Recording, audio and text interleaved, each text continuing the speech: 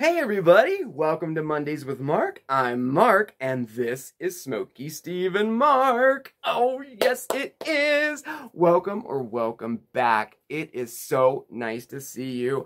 Oh man, did I miss you yesterday? I, I really did. Now, I'm still feeling a little bit under the weather, but if you can deal with my raspy voice and maybe the occasional sniffle, we will have a fun episode tonight. Oh yes, we are going to make one of my favorite autumn treats of all time, the candy apple. Oh yes, and we're going to learn about the, the fascinating history about it too, both that and the candy apple. And uh, we're going to uh, kind of revisit and update our uh, projects that we started a few weeks ago to lead up to Christmas. I'm pretty stoked about that. They're turning out really, really cool. And of course, we're going to get caught up on some chit chat. So, first and foremost, how are you? You good? I hope you're good. Are you enjoying autumn so far? I am. I have to say, I am. I really, uh, I, I, I, going into the holiday season, I said I am definitely going to enjoy the holiday season this year. And so far I have. Halloween was awesome. Autumn has been great. And I hope you're enjoying it too. For real. I hope you are. And um, I, I, you know, I have to say, I do apologize for yesterday. We did not do our live stream. Both Steven and I were sick. We were. Um, he woke up, uh, he woke, it was Sunday morning. He woke up Sunday morning, um, as sick as I was on Saturday morning. So we have the both, we both had the same thing, you know, and, and the poor guy, you know, he, he has that, uh, he still has the sty, you know, in his eye. And, uh, but today though, um, it's much better. Like the swelling around his eye, all that went down. I mean, still extremely uncomfortable, but at least there's that. You know, it's kind of like working its way out. And he has medicine for it and everything. So that that's good. So it's just it's just a matter of time how how those things are. And colds too, you know. We both had this this nasty head cold. Now, I did go to work this morning and um when I got there, I found out that pretty much everybody at work has the same thing, including uh, our main doctor, he actually called out today. Well, he was working remotely. You know, he didn't come in. And uh, he had the same thing. And he also works at a hospital in the ER department. And he said that uh, there is something going around. Somebody wanted to say hello. Hello, the autumn kitty. um, he did say that there is something going around right now, and it is a very nasty head cold that ultimately settles in your chest and um, why he he is seeing uh, so many people being admitted for this one is that because uh, this particular cold at the end of it it settles in your chest but most of your symptoms kind of go away but you have that congestion still in your chest and if you don't kind of get that gunk out of there it can very easily turn into pneumonia. And that's what he has been seeing you know a lot of you know people coming to the ER and actually being admitted for is for pneumonia and bronchitis. Um, and so I'm going to keep an eye on Steven because he's prone to that. Since I've known Steven, he's had pneumonia two times and he's had bronchitis three times. And all of the times he needed to um, be seen by a doctor. So he's kind of prone to getting that. So I'm going to keep an eye on him. We'll keep him nice and safe and, and well. And, you know, I do, I have to say, thank you. Actually, thank you for two things.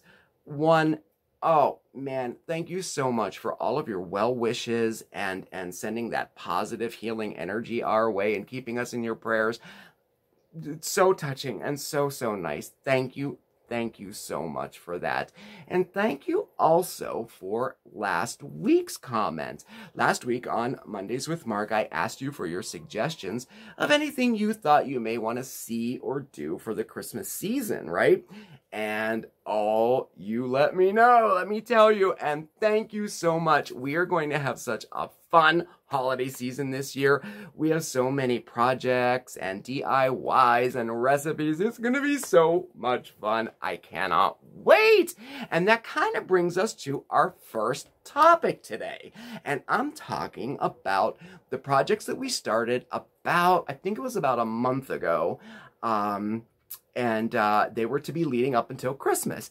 And the first one was our mums. So, if you remember, we went outside and we clipped some uh, cuttings from our mum plants that were growing out in the garden, and we put them in water to root. Now, the last time we checked in, the roots had just begun to form, and we were going to wait about a week, and then we were going to plant them in little pots like this with some good um, potting soil. So I went ahead and did that, and this is now a few weeks later. You can see nice and healthy very, very good. So, uh, I know a few of you are following along and doing this project. Uh, so if you're at this point right now, the thing that you want to look for is, oh, I should have saved one. Shoot the natural instinct for the mum plant right now is to bloom. So if you see small little buds, you know, like the beginning of flowers, you want to gently take either a pair of tweezers or a small pair of scissors or even just your nails and you want to pull that um, bud off, okay? Because we don't want it to bloom. We don't want it to put its energy into blooming. We want it to put its energy into the plant itself. And as you can see, he's starting to all bush out now. Really, really cool. Now, I did one, let's see, a week after I planted this one, and you can see the difference. He's nice and healthy and everything, but he didn't bush out quite as much. So we got to wait, I'm to say about two more weeks, and he'll look like this one. So there's the difference between the two there. That this has only been in the pot for a week, and this one has been in the pot for about three weeks now. So that's the difference there, okay? So, um, Thank you for sending pictures too. I'm, I'm so thrilled that some of you are trying this because this is something that I actually never did before. I never rooted and planted mums before. I knew you could do it, but I just never, never did it. So our next step after this really is nothing. It's just caring for it. And again, that's indirect bright light. You don't want it sitting in direct sunlight, but you do want to have bright light on it, okay? So indirect uh, bright light, okay, or under a grow light. These these are totally grown under grow lights in my bathroom, so it, it really really works, okay. And then um, just keep them keep them nice and healthy and everything. And then at Christmas time, I'm going to put a nice little um, burlap bag over the bottom of it and tie it with a red ribbon, and they're going to be um, added to added to gifts that I'm giving away this year. I think that'll be a real nice gift. Then come the spring, you can either like transplant it into a bigger pot or put it right out in the garden. And uh, chances are you will have mums that will bloom in the springtime.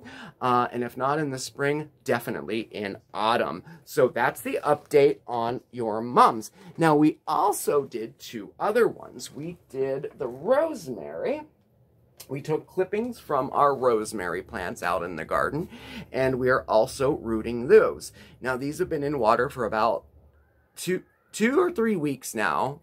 Yeah, three weeks. They've been, no, two weeks they've been in water now. So I'm going to try to show you there. They are just, see, yep, they're for, forming their roots right now. Okay, so the next step just the same as the mums. We're going to put them into a small pot with some good potting soil in there. And uh, we're going to keep an eye on them, but we'll check back in in another couple weeks. But um, the goal is to have small little pots with little rosemary topiaries in them to give as a Christmas gift. And I have about seven or eight of them in here, so I think this will be really, really nice. So I'm going to leave these in, a, in the water for about another week until the roots form a little bit better better, and then I'm to put them into pots like, like the mums, okay? In addition to that, we also did our Dragon's Breath Coleus love this variety of. They're really, really cool, right? So, uh, again, we're rooting them, and as you can see, they are nice and rooted. I'm going to leave these in the water again for another week, and then we're going to put them into small pots, just the same as the mums and the rosemary. And then by Christmas time, we will have some really cute plants to give away as gifts. I can't think of a nicer little gift than something that is is living like this and something that we grew all ourselves. I mean, it's really, really cool. So I'll give you another update on those in a couple of weeks. And then at Christmas time, we'll have the finished little product there. Oh, I just, I can't wait. I'm so happy these turned out. I did the rosemary and I did the coleus before, but I never did the mums like this. And I'm very happy with the way they turned out. Ah, very, very cool.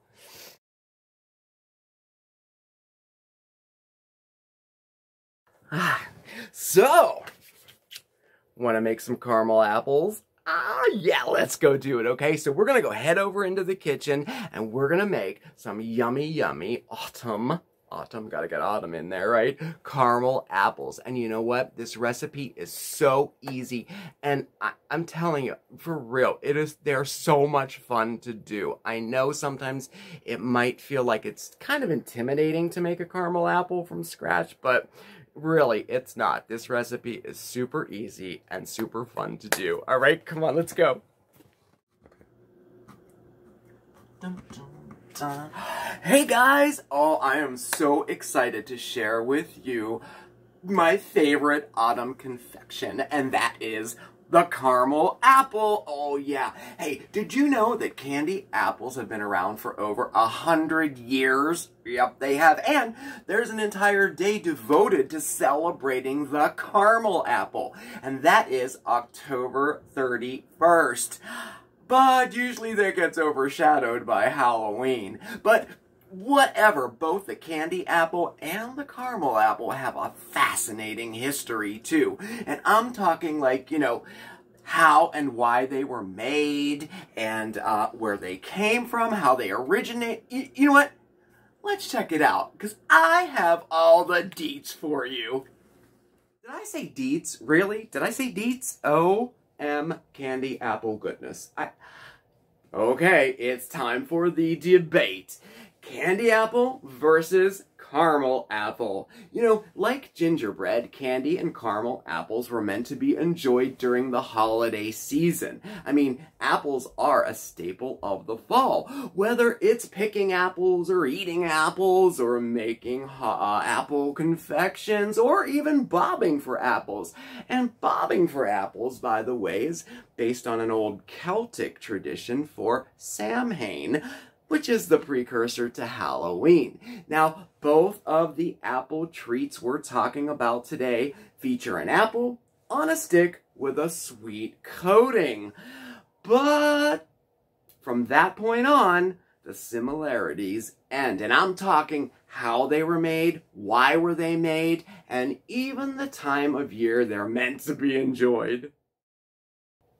So what's the difference between a caramel apple and a candy apple? Well, this is actually really simple. You see, a caramel apple, well, it has a caramel coating on it and traditionally served with a topping of some sort. Anything from chopped nuts to candy sprinkles. Now, candy apples, on the other hand, have a candy coating on it.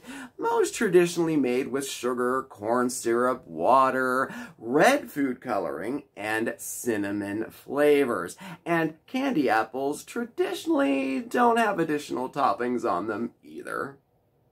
So, William W. Kolb invented the candy apple in Newark, New Jersey in the winter of 1908. He was a candy maker and was experimenting with a batch of red cinnamon candy for Christmas when he accidentally invented the candy apple.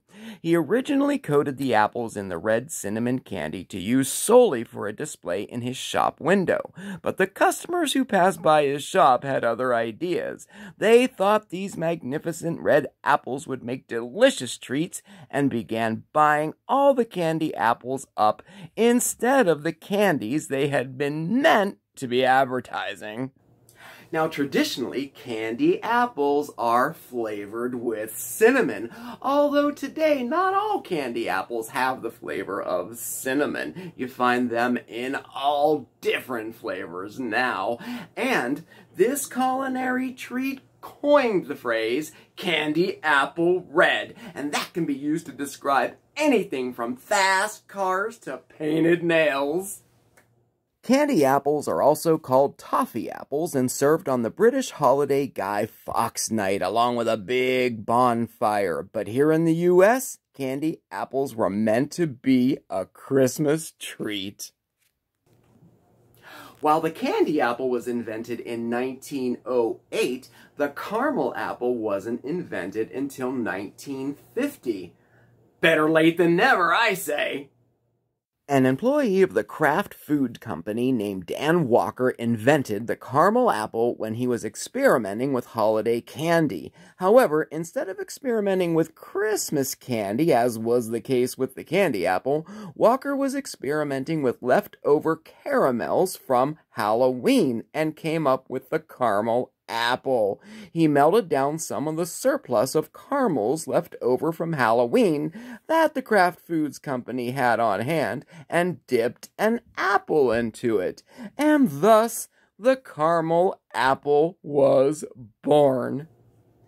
Now, in Chicago, Illinois, in the 1960s, the very first invented and patented caramel apple making machine, which was totally automated, was created. Now, before that, all caramel apples were made by hand.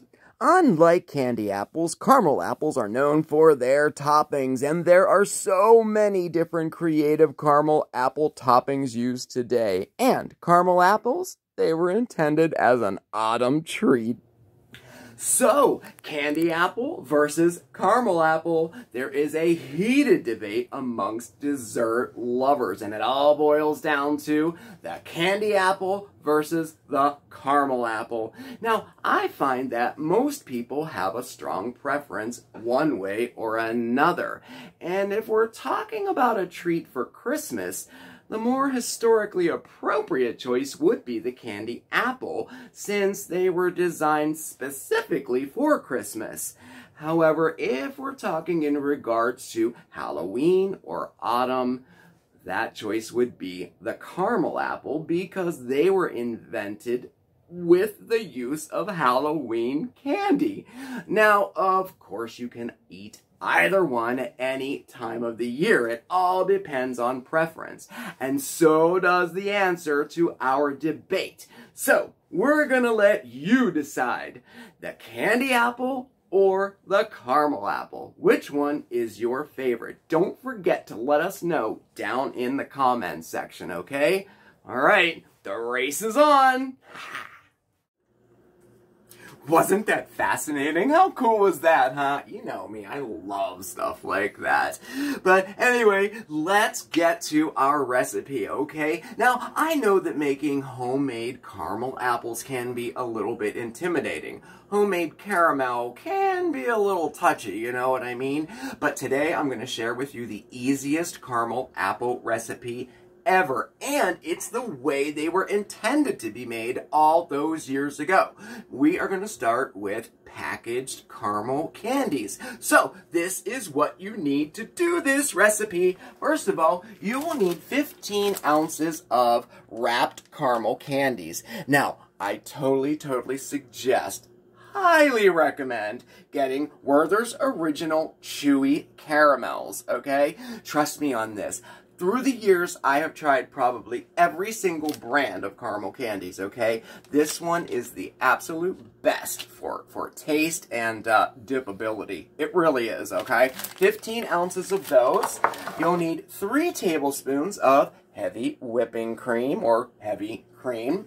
You'll also need 6 to 8 apples okay? And any apple will do, okay? I know it's usually highly recommended to use a Granny Smith apple because it's very, very tart. But honestly, your favorite apple, whatever that might be, is just perfect. Now, in addition to that, you'll need some kind of stick to put into your apple. And that can be popsicle sticks, skewers, you could use candy sticks, those white candy sticks, or for a real rustic autumn look, how about some twigs right outside from the yard? That's where I got these, okay? And if you're going to use real ones, okay, make sure you wash them and dry them out completely first, okay?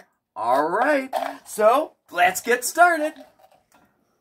All right, to start, we are going to uh, use a medium saucepan, okay? And over medium to low heat, we're going to put our caramels in there, unwrapped, of course, and our heavy cream. And we're going to heat that over medium-low heat until it's nice and smooth and dippable. I think I have another minute or so to go here, okay? All right. Now, you can also do this step in the microwave using using 30 second intervals until it's nice and smooth. Now just be sure to use a microwave safe bowl, okay? Alright. And while our caramel is melting here, we're going to prepare our apples, okay? So you just want to make sure that you wash and dry your apples thoroughly, okay? Now I know there's all these recommendations out there like like take your apples and dip them for 30 seconds in boiling water yeah, no, just, just wash them and dry them completely, okay? That's all you need to do. Next, we're going to remove the stems from each one of them by twisting them and taking them off like that. And then we're going to insert our sticks. So, with a firm pressure right in the center, we're just going to insert our sticks as deep as we can, at least halfway, okay? And make sure it's nice, it doesn't fall off, and it's nice and firm, okay? And we're to do that to all of our apples.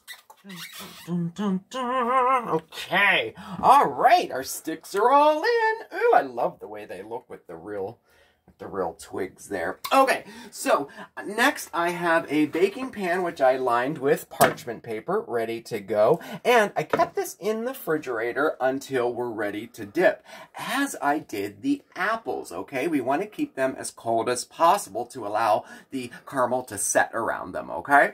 Now next, let's check our...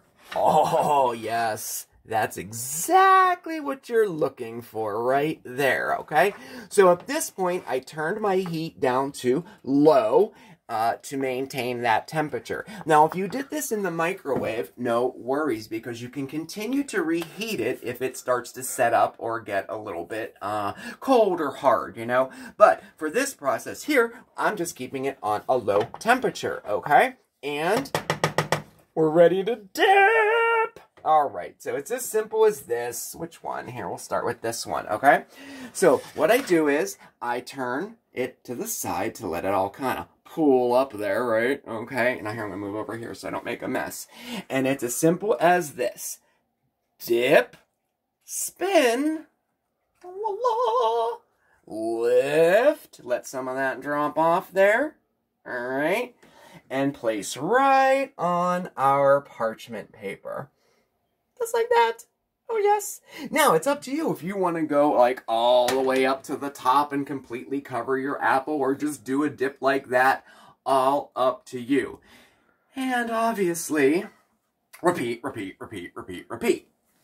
Dun, dun, dun, oh, oh, wait, did I hear somebody say, what about the toppings? Oh, yes, I did. Oh my gosh, so caramel apples are absolutely known for their toppings. And I'm talking anything from chopped up roasted peanuts, probably the most popular, to candy sprinkles, and also, uh, yes, flaked salt, definitely for salted caramel. This is an awesome combination. And, um, my favorite, my favorite, my favorite, oh yeah, know what that is? Crunchy granola bars. Oh, yes. These come in so many different flavors. Look, peanut butter, apple crisp. In here, I have dark chocolate granola. And all you do is right in the wrapper, bang it with the back of a spoon until you get crumbs like this. These make awesome toppings. But you, you know what? The sky's the limit. You can do whatever you want. Drizzle chocolate on it, crush up some uh, Oreo cookies, even cereal works as a fabulous topping. So, when do you add the toppings? Well, right after you dip them. Which one should we do first? How about my famous granola ones. It's so easy, y'all. You dip it in the caramel, and you can either roll it in your toppings, or you can just kind of, you know, drop your toppings on it. Either way. So, let's do this. Okay. Ooh. I'm getting so into this. I really am excited. All right. Dun, dun. All right, so I'm gonna, how about, let's do a sprinkle. Dun, dun, dun, dun. Do that real quick. Gonna be so good. This is one of my favorite ways to eat a caramel apple for sure. Move it over to your board with the parchment paper. And then as soon as you can, move this pan back into the fridge and leave it in there for at least 15 to 20 minutes for your caramel to set up, okay? All right. Oh, well, we made a mess for sure, um, but what a fun mess it was. Oh yes. Now, this recipe will make anywhere from six to eight apples, depending on the size of your apples, okay?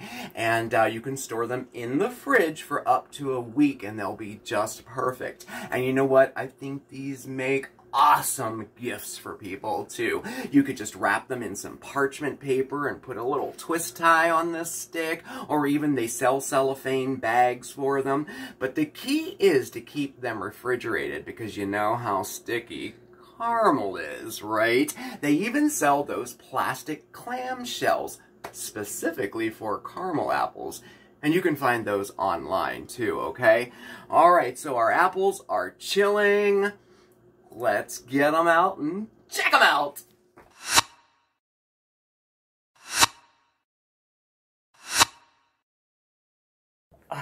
Okay. What'd you think? Ah. Mm -hmm. Nice, huh?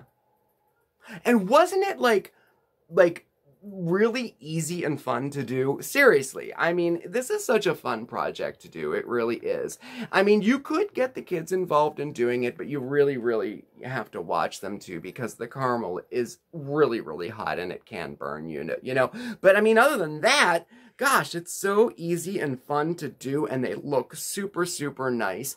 And uh, definitely keep these in the fridge at all times because, you know, caramel tends to, even at room temperature, it's so, so sticky, you know. So definitely keep it in, um, keep it refrigerated, okay? So, anyway, that was our, that was our caramel apples. Oh, here, let me put these down here. I'll take a picture and show you, too. And uh, as always, I'll post the recipe and some pictures over on Facebook for you and Instagram. And you can just download the recipe if you want to try it yourself. And uh, you know the drill. Send me some pictures, okay, if you do it. I want to see them.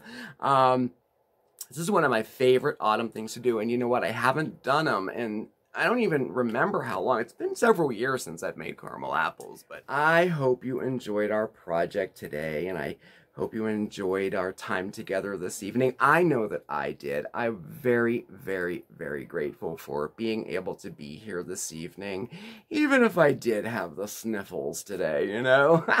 and I hope you had fun too. Next week, y'all, you definitely have to check in. It's Moon Madness already. Oh, yes, I can't wait. I do love the Moon Madness videos, I do. Well, anyway, thank you so, so much for watching and spending your time with me tonight. Definitely hit that subscribe button, okay? And uh, hit that notification bell, too, so you know when we have a new video coming out.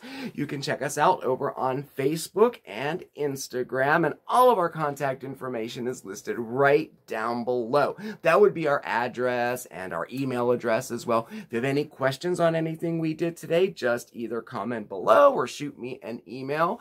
And uh, I guess that's about it. Thank you again, everybody. Happy autumn, and I will see you next time, okay? Ciao, everybody. Mwah.